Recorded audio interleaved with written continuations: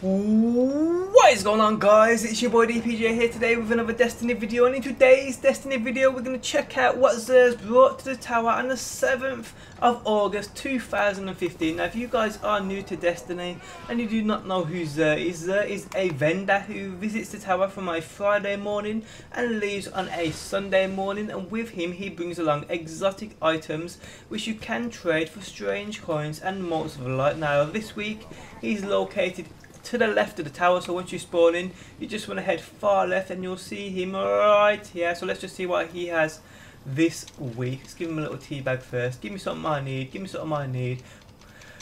Oh, here we go. There is something inside me. Fuck yes. Fuck fuck yes. Yes yes yes yes. Fucking yes yes yes.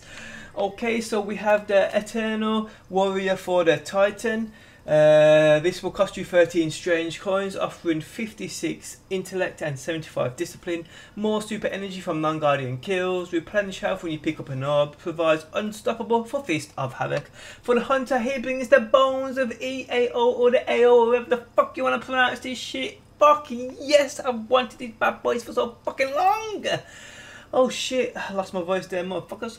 Um, 13 strange coins it will cost you. Mods are KMO ammo for heavy weapons and upgrades double jump with an additional jump and offers 151 discipline. Badass, motherfucking badass. Uh, I love you, ugly motherfucker. Okay, for the warlock, you bought the Voidfang Vestments. Uh, these will offer 159 strength.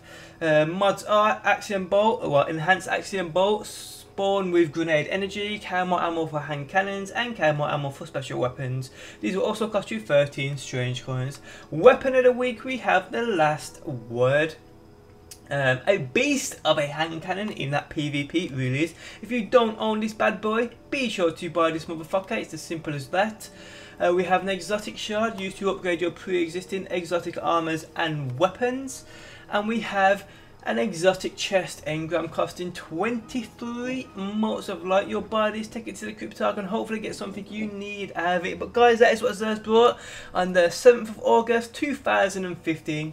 Great week in my opinion. Motherfuckers going back to that vault to get them strange coins to buy the bones of EAO. But guys, hope you enjoyed the video. Tell me if you've bought anything you need down below in that comment section. Thanks for stopping by as always and I'll catch you on the next one. Peace out until next time. Peace!